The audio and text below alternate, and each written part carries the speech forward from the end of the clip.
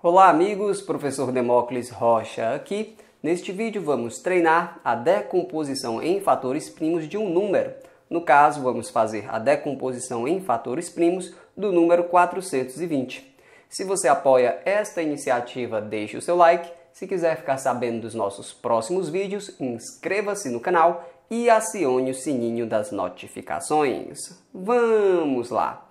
A gente vai começar com o primeiro número primo natural, que é o 2. 420. Será que ele é divisível por 2? Você vai dizer que sim, porque todo número terminado em 0, 2, 4, 6 ou 8 é divisível por 2, não é verdade? Então já vou colocar o 2 bem aqui. Ótimo! 420 dividido por 2 é muito fácil. Basta pegar a metade. A metade de 400 é 200, a metade de 20 é 10, então a metade de 420 é 210. Ótimo! Como 210 termina em zero, ele também é divisível por 2, eu já vou colocar o 2 aqui. E agora, professor? Pense assim, quanto que é a metade de 210? A metade de 200 é 100, a metade de 10 é 5, então a metade de 210, olha só, é 105. Beleza! Agora temos aqui o número 105. Ele não é divisível por 2, né? Será que ele é divisível por 3, que é o próximo número primo natural? Veja bem, um número natural vai ser divisível por 3 quando a soma dos seus algarismos for um múltiplo de 3. Vamos adicionar os algarismos do número 105. 1 mais 0 é 1, 1 mais 5 é 6. A soma dos algarismos aqui é 6, que é um múltiplo de 3. Então, 105 com certeza é divisível por 3. Professor, e quanto que é 105 dividido por 3? Eu sei que você sabe dividir. E dividindo 105 por 3, você encontra 35.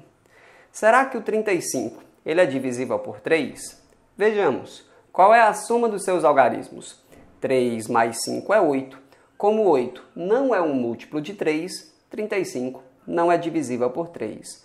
Professor, como ele termina em 5, ele é divisível por 5, que é o próximo número primo natural. Exatamente. Então eu já coloco o 5 bem aqui. Como você conhece muito bem a tabuada, você sabe que 35 dividido por 5 é igual a 7. É mesmo, professor, até porque 7 vezes 5 é 35, né? Exatamente. O 7, ele mesmo é um número primo. Ele vem para cá.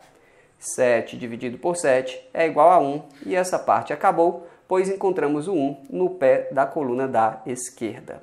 Então, podemos concluir que os fatores primos de 420 são 2, 2, 3, 5 e 7. Isso significa que o número 420 pode ser escrito como 2 vezes 2, que eu coloco aqui, ó, 2 ao quadrado, vezes 3, aqui está, vezes ainda 5, beleza, pronto, vezes ainda 7. Olha só que legal. 420 é 2 ao quadrado, vezes 3, vezes 5, vezes 7. Se você precisar, verifique. Será que você entendeu mesmo como fazer a decomposição em fatores primos de um número natural?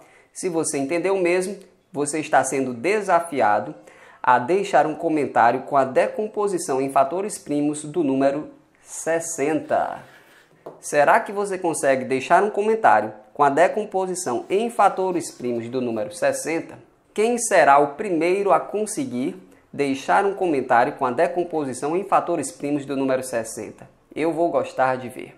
Está na hora de dizer que este vídeo foi feito de coração para te ajudar. Se ele te ajudou e você quiser me ajudar de volta, deixe um comentário com uma carinha sorrindo, compartilhe o vídeo. A gente fica por aqui, um abraço e até a próxima. Tchau!